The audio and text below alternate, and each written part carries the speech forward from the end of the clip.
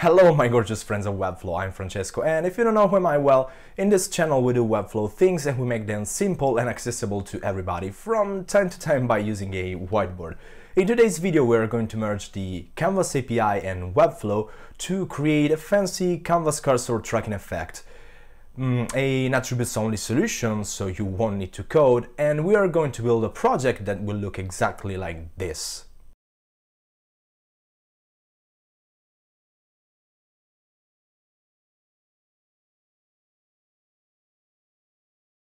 This project is available inside the Cloneable and you will find the link to this Cloneable and to the instructions page containing all the steps required in the description down below.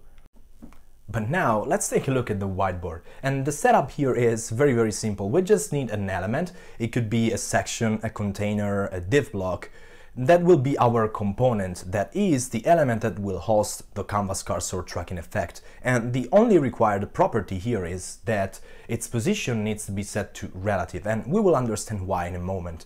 Then inside our component, we'll throw a Webflow embed element, which will host our canvas and the only required property for this embed element is that its position needs to be set to absolute with the full option on. And we need this because we want to make sure that the canvas takes up all the available space inside our component, but we don't really want to mess up with the layout of whatever is inside our component.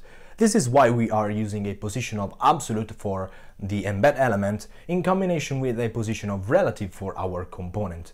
And then it's just a matter of using the right attributes. And the only required attribute here is the FC cursor tracking attribute with the value of component that we need to apply, yes, to our component.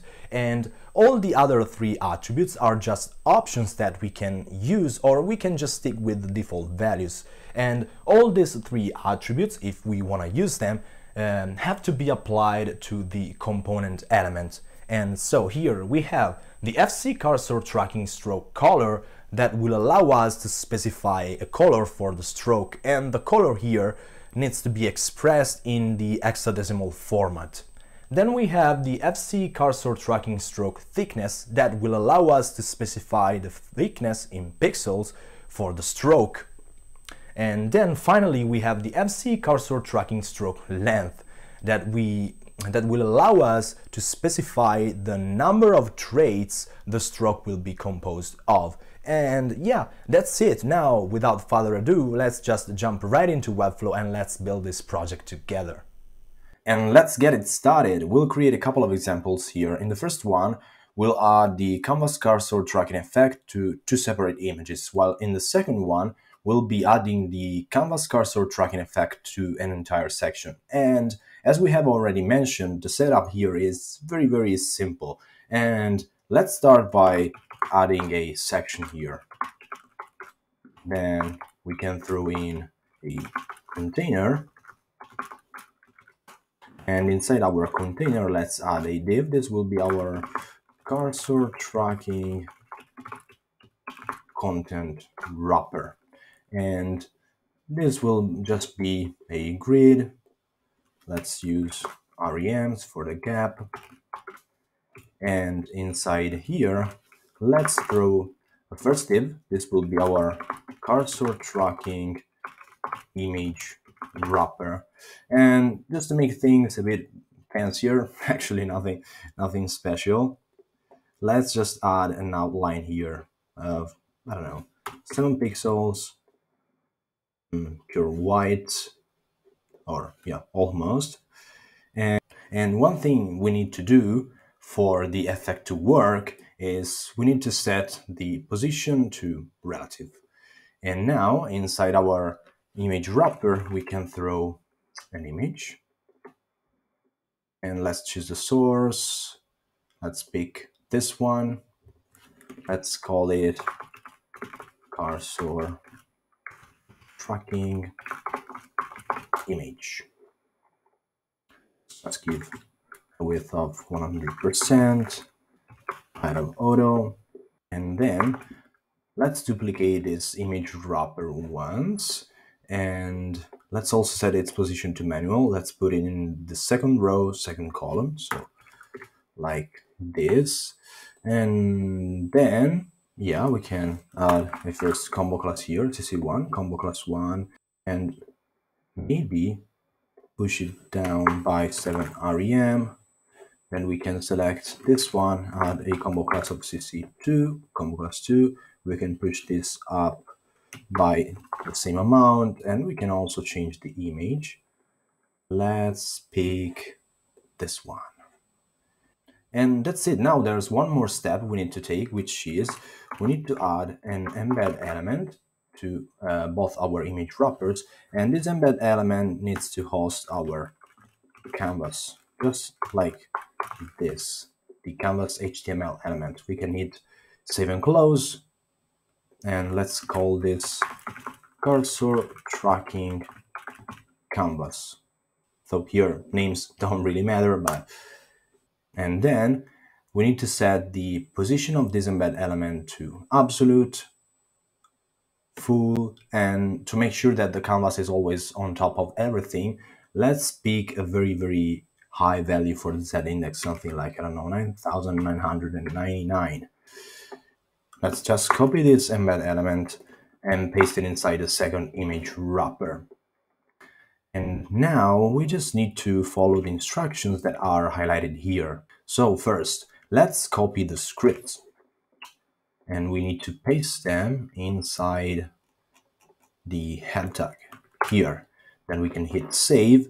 And now we need to choose our, we to pick our component, which is uh, the section container div block that will host the cursor tracking effect. In our case, our image wrappers. So let's just copy the name of the attribute. Let's select the first image wrapper. Let's add a new attribute. Let's paste the name and here, if we don't want to copy paste the value of the attribute, we can just type component. Let's do the same here for the second image, image wrapper. Let's paste the name of the attribute. Let's write component here. And now let's go back to the instructions page we uh, can set a few options here. Stroke color first. So let's say that we want to stick with the default value for the first image wrapper, but we want to choose a specific value for the second image wrapper. So let's first copy the, the name of the attribute. So let's select the second image wrapper here. Let's paste the name and let's say that we want some publish color and let's use the hexadecimal format here for the color. So, and let's write FF, something like, yeah, 00 DD. And then back to the instructions page, we can set the stroke thickness. And let's say that we want to set the stroke thickness for the first image wrapper, but we want to stick with the default value for the second image wrapper. So let's copy the name of the attribute and select first image wrapper. Let's add a new attribute. Let's paste the name here and let's say that we want this to be 6. Then back to our instructions page, we can also set the stroke length. And let's say that we want set the stroke length for both the first and the second image wrapper. So let's copy the name of the attribute. Let's go back to our project. Let's add uh, an attribute, new attribute for the first image wrapper. And here, let's say that we want a 20. And for the second, image wrapper, let's say that we want a very, very high value, let's say 50. And now we just need to hit publish, wait for our Webflow to publish our website, and then we can go to the live link and we can go over the first image and we can see that it's working and we can go to the second image and it's working if we go out of course nothing happens we can go back onto the first image, back to the second, and here, of course, nothing will happen. And that's it for the first example.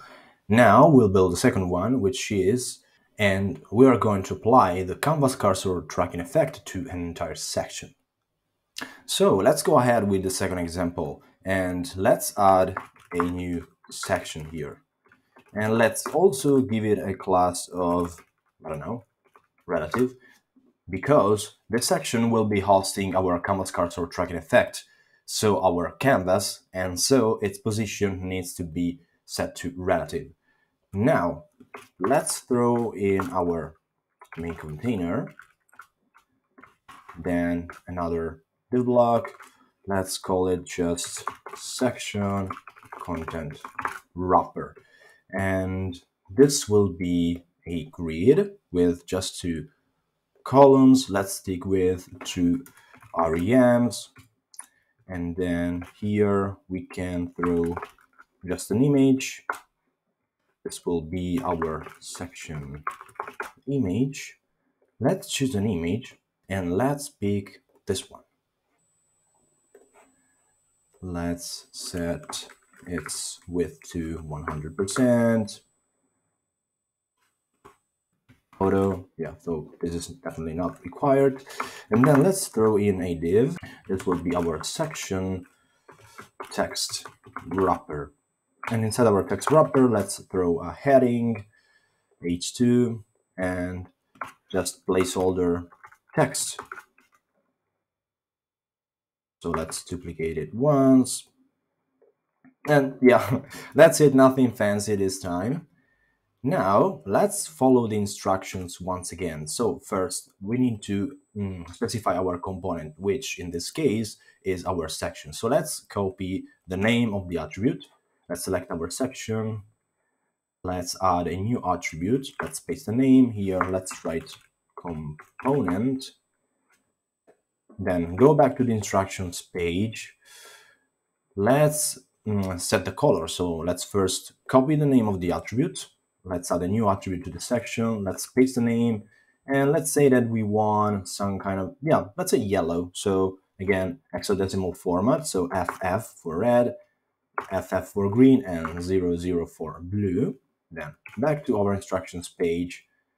Stroke thickness, let's copy the name of the attribute. Let's add a new attribute to the section. And let's say that we want this to be 7. And now, last option here, stroke length. Let's copy the name of the attribute. Let's add a new attribute, paste the name. And let's say here that we want, I don't know, 35. And what did we forget? we forgot to add our canvas. So let's do that. Eh, let's select our section. Let's add an embed element here to host our HTML canvas. Let's see, save and close. This again will be our, let's use the class that we used here because yeah, we need to do the exact same thing. So let's is the name here. And now we have this embed element with the position set to absolute, full, and the z index to 9999. And that should be it. Now let's publish the website once again. Wait for our Webflow to publish our website. Let's inspect the live link.